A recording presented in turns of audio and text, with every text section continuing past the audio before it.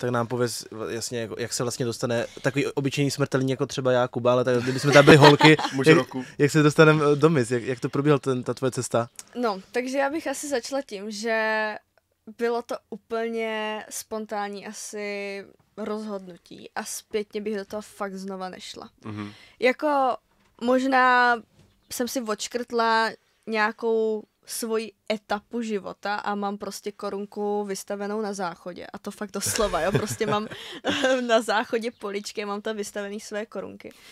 Ale za prvé, nemusíme se tady vůbec bavit o nějakém hubnutí, to tam vždycky prostě je. A já nejsem člověk, který prostě by mohl sníst všechno a prostě Mhm. přiberu. A nestydím se za to to říct. A vždycky jsem byla ten člověk, který mu říkali, že je prostě krev a mlíko. Mhm. A nechceš to slyšet. Prostě jakože, jo, já jsem člověk, který mu něco řekneš já to za pět minut zapomenu. Ale pořád jsem se s tím prostě potýkala. Mhm. A vždycky jsem byla ta, já, moje pořekání. Líná huba holí neštěstí. A já jsem tak měla fakt vždycky, takže když se mi něco nelíbilo, tak jsem to řekla, Mhm. ale měla jsem sam, samozřejmě z toho i někdy problémy. A nechceš mít prostě, Mhm. víš co, když už tam půl roku trčíš, tak chceš mít prostě jakože z toho něco, jo. Ty nedostaneš z toho žádný peníze, takže všechno máš na své vlastní Mhm, náklady. mhm. A není to prostě tak, jak vidíš na Instagramu nebo v televizi. Prostě dobře, vyhrála jsem nějakou korunku, ale nemáš toho nic. Ale jediný, co jsem z toho vlastně měla, tak uh, začalo mě moje fakt dobrodružné cestování. Protože já vlastně do té doby jsem cestovala, jako brutálně, spala jsem na letištích a tak, ale všechno po Evropě. Mhm.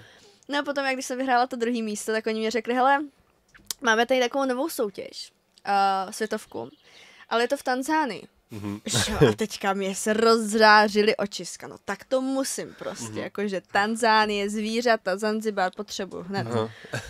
Teďka samozřejmě všechno zadarmo, že jo, tak člověk prostě, tak jasně, že pojedu, neřeknu ti na to ne.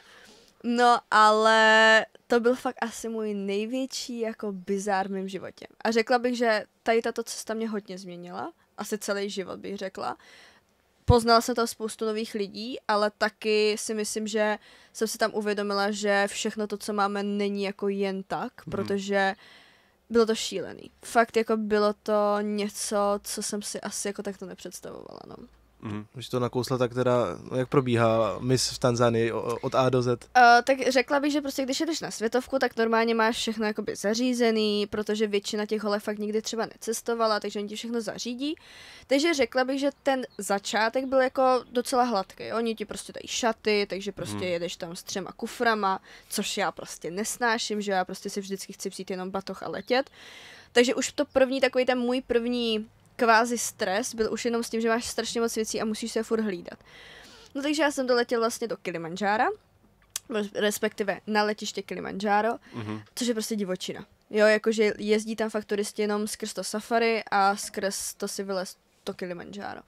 Ale pořád jsem to brala tak, jakože zážitek, dobrodružství, nic se nemůže stát. Mhm. No jenže, uh, mě zaplatili letenky, jako všechno bylo OK a já už jsem jako řekla, že když už tam budu a ty lety byly jako mnohem lepší, když bych letěla o nějakých 4-5 dní dopředu, tak jsem říkala, hele, mě to nevadí, uh, oni mě řekli, že mě zařídí ubytko, takže já jsem letěla o 5 dní dopředu než všichni ostatní. Takže já jsem si odletěla z Vídně, prostě ještě víš co, videa s korunkou, Salónek. salonek, prostě pohodička. No a teďka jsem doletěla, ještě všichni se usmívali, prostě, jo, teďka ty tanzánský média, prostě šílenost, jako Mhm. všechno tam funguje úplně jinak. Teďka jsem dojela na ten rádoby hotel a oni mi řekli, že soutěž se nekoná. Mhm. A teďka ty tam prostě sedíš s těma třema, čtyřma kuframa, plný Hmm. prostě šatů, hader, bote, bot a oni ti řeknou, že nic jako se neděje. Mhm. Takže já jsem prostě furt byla s tím takový jako haha, jo, prostě sranda. Mhm. A volám to jako, že do toho Česka oni okamžitě prostě jdeš domů. Mhm. Já říkám, to neexistuje. Prostě já jsem doletěla po kolik, asi 20 hodin na cestě Mhm. a fakt jsem jako nechtěla jet zpátky domů. No a říkala jsem si, no tak dobře, no tak jako něco s tím prostě budu muset asi udělat. A oni, no tak prostě buď tady zůstaneš na vlastní pěst, a nebo letíš domů. Říkám, tak prostě zůstávám. Mamka, ta neexistuje, prostě okamžitě letíš domů.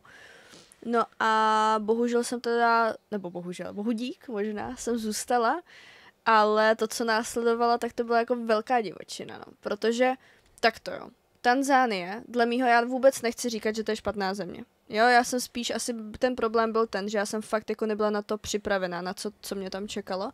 Já bych řekla, že Afrika má krásnou kulturu, i ty Masajové.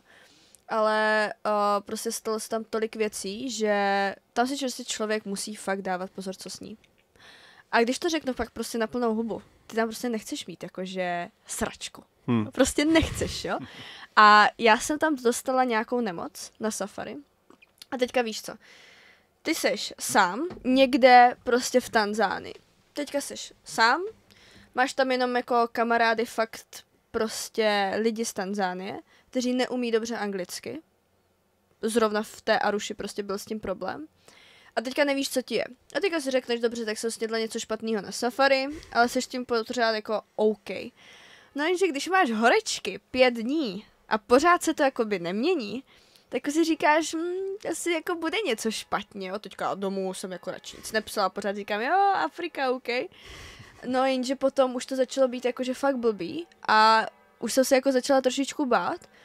No a teďka v té Aruši, ty tam nemáš jakože, to je obrovský město, fakt je to obrovský město, ale ty tam nemáš jakože nemocnici. Ty tam nemáš prostě jako nějaký evropský nebo americký území, kde ty jakože se cítíš safe. Tam prostě pořád fungují tady ty africký pravidla. Všechno je Hakuna Matata, což prostě pro mě, netrpělivýho člověka, nechceš prostě, jo. Co to znamená teda? Je to v podstatě jako buď v klidu. Aha. Jo, a jako ty úplně nechceš být v klidu, když máš pět dní horečky a prostě nemáš jako, už ti to, mě docházely paralely, dochází ti úplně všechno. A teďka ty víš, že oni tě nepustí do Evropy, protože tehda byly ty uh, opičí neštovice, jestli si mm-hmm. na to mhm. pamatujete, že to byla nějaká epidemie s tím, že prostě všude jsou jako monkeypox, že jako všichni musí si dávat pozor.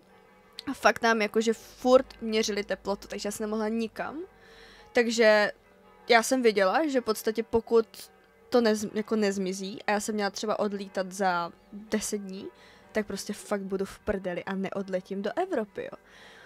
No, takže problém jako nastal tam, kdy jsme se rozhodli odjet k doktorovi do Dar es Salamu.